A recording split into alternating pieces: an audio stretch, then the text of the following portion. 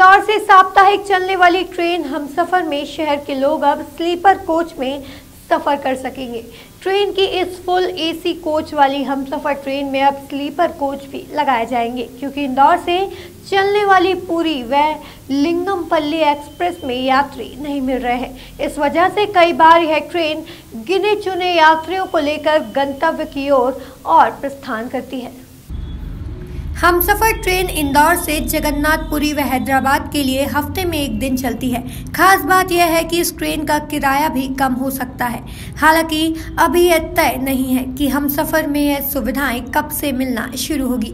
पश्चिम railway का कहना है कि रेलवे बोर्ड ने इस संबंध में आदेश जारी नहीं हुए हैं, परंतु आने वाले दिनों में इस ट्रेन में सामान्य श्रेणी के कोच लगाए जा सकते हैं, जिससे मध्यम वर्गीय सफ़र करने वाले यात्रियों को काफ़ी सुविधा होगी। साथ ही हैदराबाद जाने वाले हमसफर ट्रेन को भोपाल होकर चलाने का प्रस्ताव भी सांसद शंकर लालवानी द्वारा रेल मंत्रालय को भेजा गया है। देखिएगा, रेल प्रशासन सुविधाएँ प्रदान करता है और इंदौर का सौभाग्य है कि लिंगमपल्ली और पूरी जैसी ट्रेनें इंदौर से चल रही हैं। पूरी ट्रेन हम सफ़र है ए सी ट्रेन है, थ्री एसी ट्रेन है।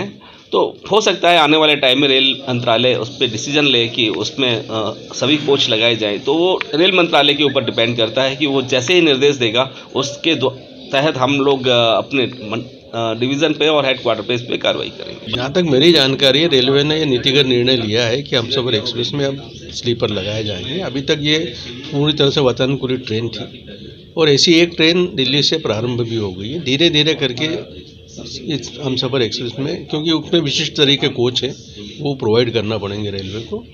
धीरे धीरे करके सब हम सफ़र एक्सप्रेस में कुछ कोचेस स्लीपर के लगेंगे सर इंदौर से जाने वाली दोनों ट्रेन में कब तक उम्मीद है? आप लोगों के द्वारा कोई प्रस्ताव भेजा गया कि कब जल्दी ये तो रेलवे ने ऑलरेडी प्लान बनाया हुआ है इसका।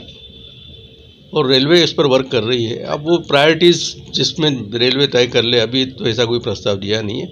हाँ ये ज़रूर है कि लिंगमपल्ली वाली यात्री गाड़ी को जो अभी वाया सूरत पूना होते हुए जाती है, उसका मार्ग बदल के वाया भोपाल होते हुए ले जाने का प्रस्ताव सांसद शंकर लालवानी जी ने दिया था। इसके पूर्व सुमित्रा जी ने भी दिया था। उस पर अब रेलवे ने all India time table committee में ये प्रस्ताव रखा जा रहा है वेस्टर्न रेलवे की ओर से कि इसका मार्ग बदला जाए। इंदौर समेत देश भर में चलने वाली सभी हम सफ़र की सीटों पर रेलवे विशेष किराया लगाता है, जो 15 फ़ीसदी होता है। वहीं इस मामले में रेलवे अधिकारियों का कहना है कि आने वाले समय में रेल मंत्रालय ही इस पर निर्णय करेगा कि कब से इंदौर से चलने वाली ट्रेनों में स्लीपर कोच लगाए जाएँगे।